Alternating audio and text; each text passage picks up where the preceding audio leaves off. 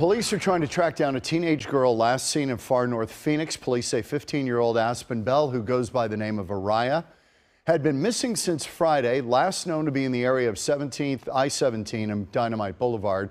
She's believed to be traveling with some other people. A few hours ago, her parents spoke for the first time. Aspen's mother has a feeling that all of this started over social media.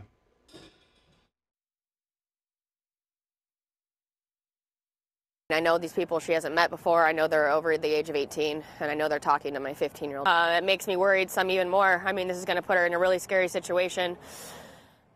It, it already is scary enough, and just the fact that she's hanging out with people over the age of 18. Authorities are hoping for any tips or leads. If you have any information, you're urged to contact authorities.